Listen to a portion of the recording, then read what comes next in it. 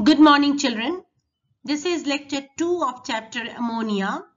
In the previous lecture that is in lecture 1 we have learnt about the laboratory preparation of ammonia and the industrial method of preparation of ammonia by Haber's process. Here in this lecture we will talk about the physical and chemical properties of ammonia. Physical properties of ammonia, its color, odor, taste, physiological action, density, nature, liquefaction, boiling point, freezing point and solubility all are given. Please go through the slide. This is very important demonstrating high solubility of ammonia in water. This is also known as fountain experiment. You can see the figure here. The setup comprises an inverted round bottom flask which is filled with ammonia gas. The mouth of the flask is fitted with two holes, one for a jet tube and the other for a dropper with water. See this is the dropper with water and this is the jet tube. Okay, the jet tube is immersed in a container filled with red litmus solution. Okay, why we have taken red litmus solution? Because ammonia is a basic gas. So, when this red litmus solution will enter through the jet and it will reach to the round bottom flask where ammonia is taken it will give you a color fountain that is the blue color fountain will come out. You can see a blue color fountain. A stand holds the flask setup in inverted position. Now see the experiment. What is the experiment? The dropper containing the water is squeezed and the water comes in contact with ammonia gas which instantly gets dissolved and creates a vacuum inside the flask. Litmus solution from the container enters the flask in a jet and runs blue as it comes in contact with the gas. I told you more ammonia gets dissolved and more litmus solution rushes in the flask in creating a fountain-like scene. And this will show you the ammonia gas soluble in water. It's a high solubility in water. It's having a high solubility in water. Chemical properties. The first is thermal dissociation. Ammonia gets dissociates into hydrogen and nitrogen by heating at high temperature or by electric spark. This is the reaction. Basic properties of ammonia. Dry ammonia is a covalent molecule. So it is neutral even in liquid form. In aqueous solution, it is a weak base. Okay, the basicity arises due to the lone pair of electron on nitrogen atom. You know that there is a lone pair of electron in ammonia. Okay, that is present in the nitrogen atom. Aqueous solution of ammonia that is NH4OH is a weak base. We are in the laboratory we are using ammonium hydroxide as a base. It dissociates partially to produce OH minus ion that gives rise to its alkalinity. NH3 when it is reacting with water it is giving you NH4OH. Now this NH4OH dissociates to give you NH4 plus and OH minus ion. It is acting as a weak base. Now this is very important to know the color change with indicator. See if the indicator is moist litmus Originally, it was red and it will turn to blue. Ammonia will turn moist red litmus paper to blue. Methyl orange, ammonia will change methyl orange from orange to yellow. Okay, and phenolphthalein from colorless to pink. Burning of ammonia in oxygen. Ammonia does not support combustion. It extinguishes a burning splint and does not burn in air. But it burns in oxygen with greenish yellow flame. Okay, see here, this is the figure.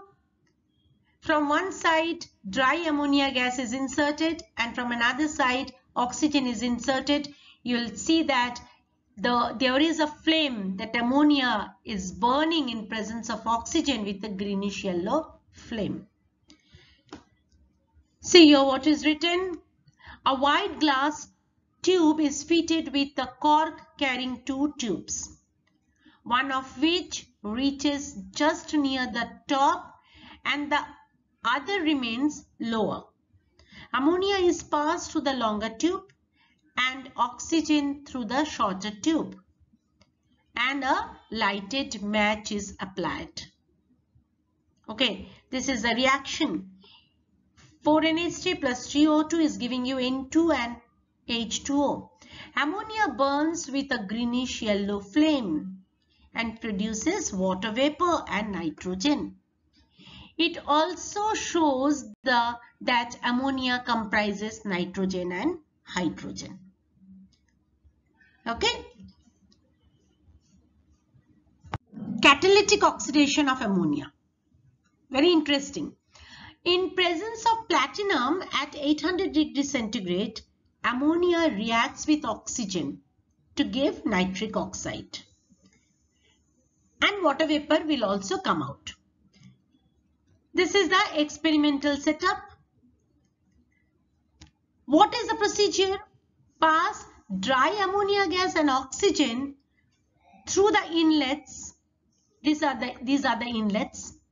From one side oxygen, dry oxygen and from another side dry ammonia.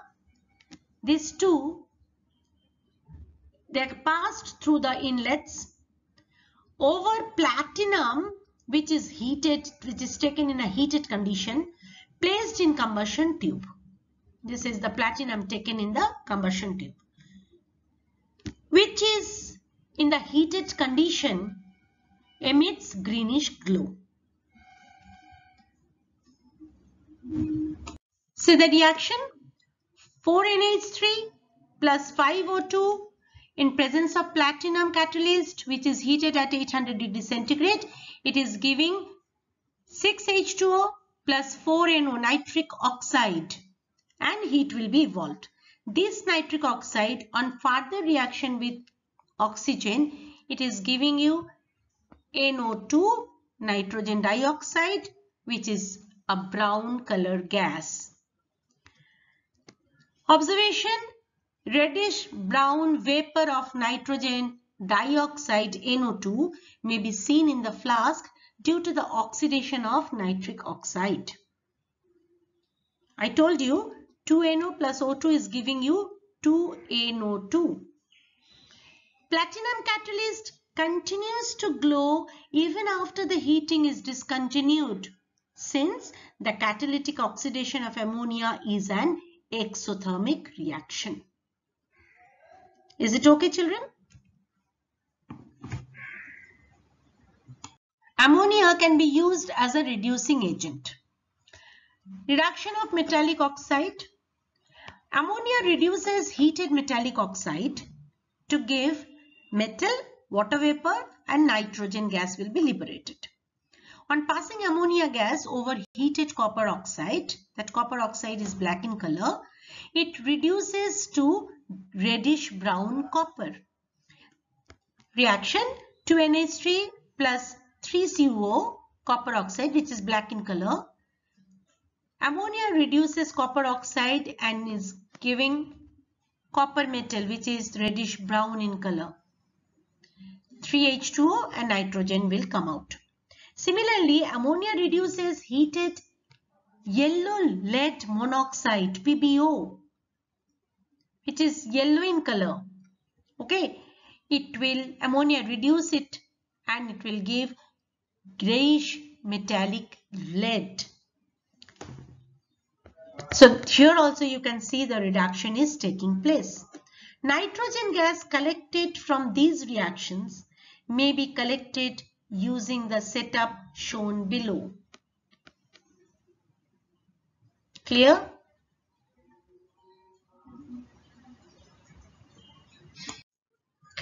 Ammonia can reduce chlorine to hydrogen chloride. When chlorine gas reacts with excess of ammonia, it is reduced to HCl which further combines with excess ammonia to form NH4Cl. Just see the reaction here. 2NH3 plus 3Cl2 is first giving you N2 plus 6HCl and then again this HCl when react with NH3 6 NH3 plus 6 HCl it is giving you 6 NH4Cl. So what is the overall reaction? 8 NH3 plus 3 Cl2 is giving you N2 plus 6 NH4Cl. Here NH3 used in excess amount. The yellowish green color of chlorine disappears and white fumes of ammonium chloride are formed okay now when chlorine is in excess then the product are hydrogen chloride and yellow colored highly explosive liquid nitrogen trichloride. NH3 plus 3Cl2 is giving you 3HCl plus NCl3 okay when chlorine is in excess here we have taken the first one we have taken NH3 is in excess now, if chlorine is in excess, then we are getting hydrogen chloride and yellow colored highly explosive liquid nitrogen trichloride. This reaction also shows that chlorine has a great affinity for hydrogen and ammonia is a reducing agent.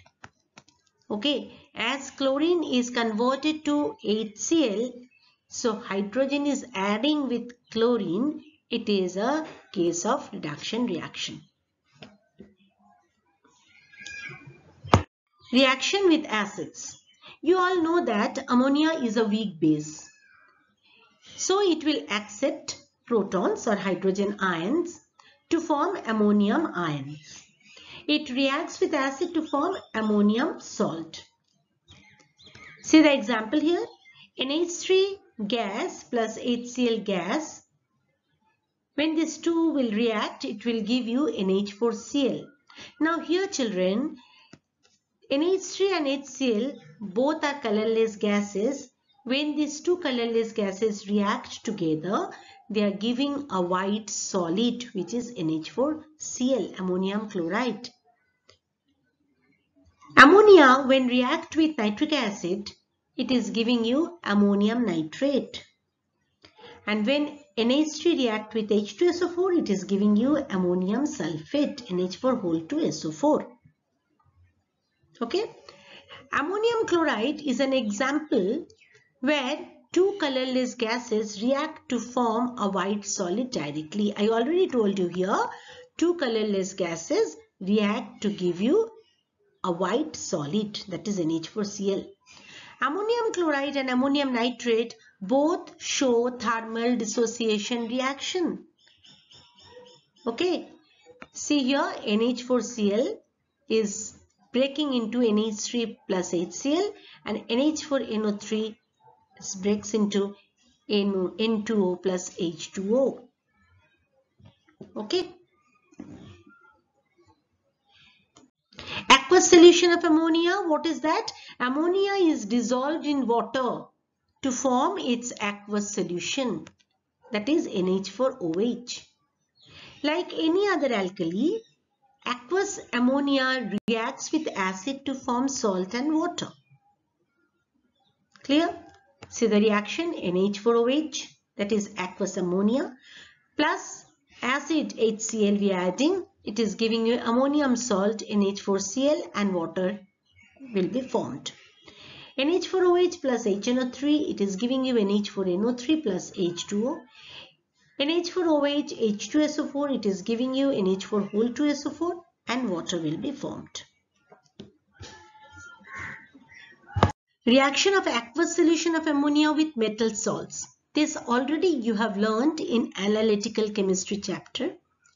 Aqueous ammonia reacts with soluble metal salts to give insoluble precipitates of their insoluble metal hydroxide except for sodium and potassium salts. See here FeSO4 that means it is a ferrous salt. When this ferrous salt react with ammonium hydroxide it will give an ammonium salt. In this case, ammonium sulfate is formed. Along with that, it will give a dirty green precipitate of ferrous hydroxide. That dirty green precipitate of ferrous hydroxide will be insoluble in excess of ammonium hydroxide.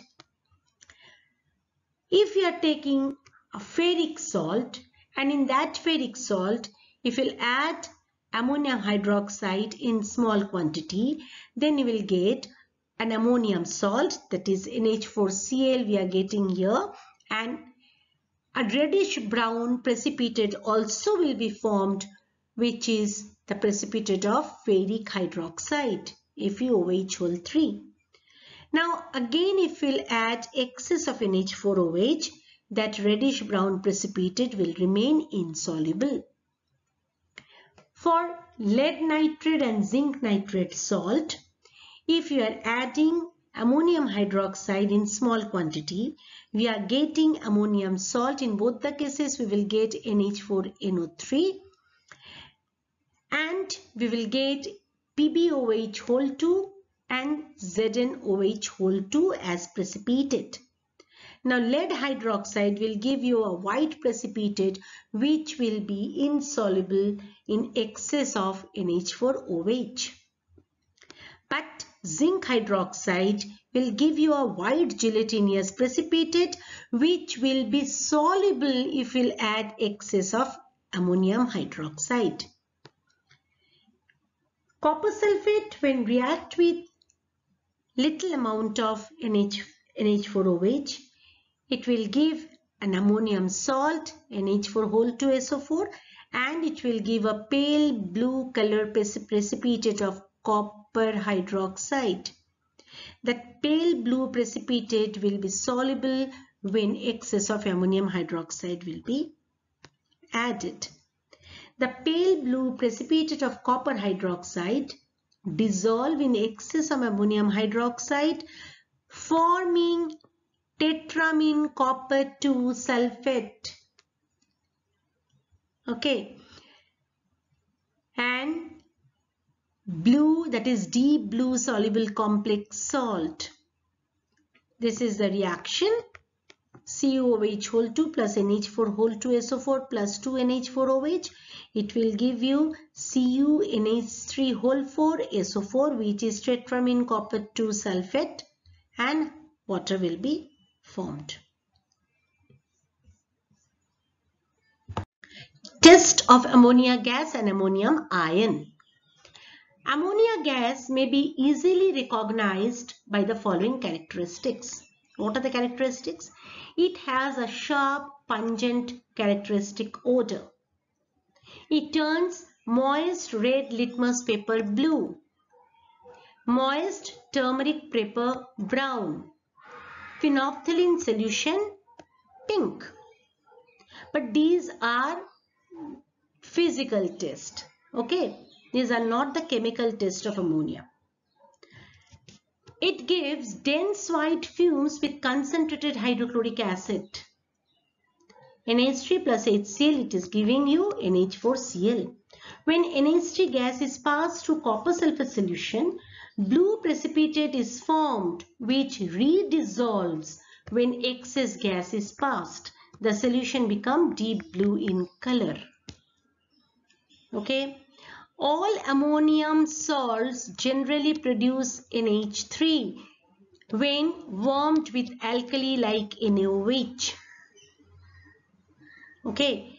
Any ammonium salt, if you warm it with alkali like NaOH, it will give you, it will produce a gas which is NH3 gas. Ammonium salt gives brown color or precipitates with Nessler's solution. Nessler's solution is K2HgI4. Nessler's solution is pre prepared by adding KOH in potassium mercuric iodide solution. Okay, ammonium salt gives brown color precipitated with Nessler's reagent. Okay. Uses of ammonia. Ammonia is used in a wide range of laboratory and industrial processes as mentioned below. The first use is liquid ammonia is used as refrigerant in ice plants. Ammonia is used as refrigerant but for some time in refrigerator CFC that is chlorofluorocarbon used to be used which are detrimental to environmental ozone layer. Okay. Laboratory reagent. As a laboratory reagent, ammonia is used.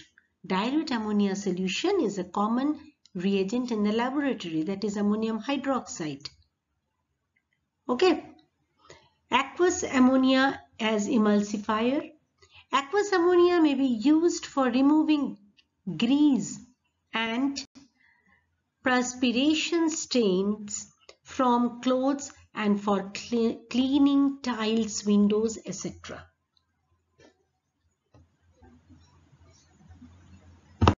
Ammonia is used for manufacturing nitrogenous fertilizers like ammonium sulfate, diammonium hydrogen phosphate, ammonium nitrate, urea, all these are made from ammonia only. Ammonia reacts with CO2 at 150 degree centigrade and 150 atmospheric pressure, it is giving urea. See the reaction here? 2NH3 plus CO2 at 150 degree centigrade and 150 atmosphere, it is giving NH2CO NH2 that is urea. It is manufacturing used for manufacturing explosive also like ammonium nitrate. NH4NO3 when you are heating it will get N2O gas plus H2O vapor. And it is used for manufacturing ammonium salt such as ammonium carbonate which is known as smelling salt. Ammonium chloride used in dry cell and in the preparation of nitrogen gas. Ammonia is also used for manufacturing nylon, rayon, sodium cyanamide, plastics, dyes, organic chemicals, explosive and wood pulp. Ammonia is also required for manufacturing sodium carbonate by sol Solvay's process. This we will study when we will do metallurgy. Ammonia, carbon dioxide and sodium chloride are reacted in aqueous medium resulting precipitation of sodium hydrogen carbonate which is separated and ignited to produce sodium carbonate. Okay. This is ammonia is also used in Ostwald process for the manufacture of nitric acid. This already you have learnt in the nitric acid chapter. Okay. Now this is the end of chapter ammonia. Please go through the videos properly and take the help of the book for your better understanding.